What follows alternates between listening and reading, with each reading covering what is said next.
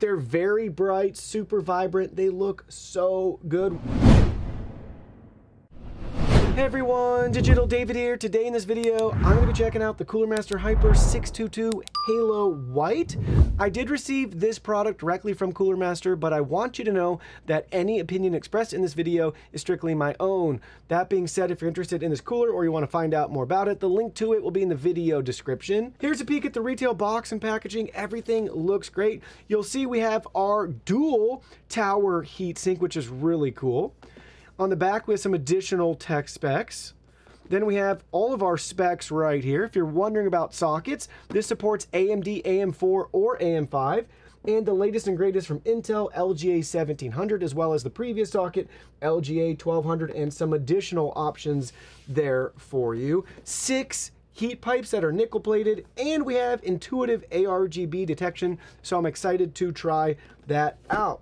Now let's go ahead, let's open this up and see what's inside. Here are all the contents. First up, we have our product literature consisting of our two-year warranty information and our user guide and manual. You'll see it's the exact same regardless of the color black or white. Here's our Intel and AMD installation instructions, additional info on the back, and we have our wiring and cable hookup diagram right there. Next, you'll see we have our hardware kit here with all of the brackets, screws, and everything that we need.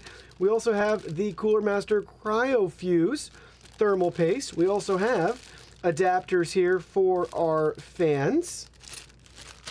And then lastly, you'll see the cooler itself with its dual tower design and our two Halo 120 RGB ARGB fans. Cooler Master's logo and branding. Beautiful white fit and finish on this. Looks really nice. This is a pretty massive cooler. You'll see we need to peel that off before use. You can count the six heat pipes, all of our fan power cable connectors right there for us as well. Now let's go ahead, let's get this installed. All right, take a look. We have our cooler installed. Everything looks great. Really happy with the Halo fans as they're spun up and illuminated.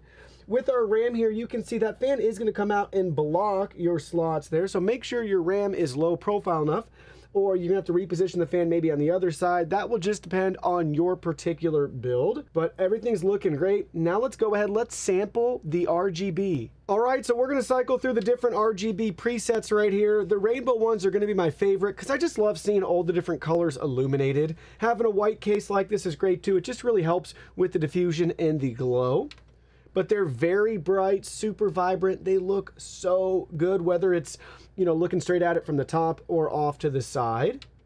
Beautiful fan blades, fast, responsive. Depending on how you have everything built, you can either use a dedicated button like we're doing to control them, or you could set them up within your specific RGB software like Master Plus from Cooler Master. This one's kind of mesmerizing watch it spin and glow and cycle through. Really rich colors though. Some of my favorite RGB is always from Cooler Master products.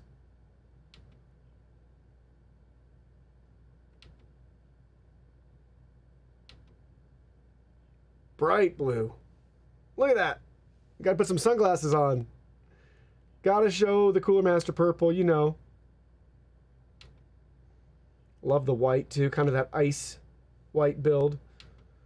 And then we're back to our rainbow presets so you can see all of the color. All right, now the moment you've all been waiting for. Let's see how this cooler performs. So currently we have all the panels on. Everything's just at an idle. We've started up our PC and we're just monitoring its performance right now to get a baseline for the average temp that we're seeing for our CPU. So we're showing right around 38 degrees Celsius for our temp, averaging right around 38 as well. We've peaked so far at 39 degrees Celsius.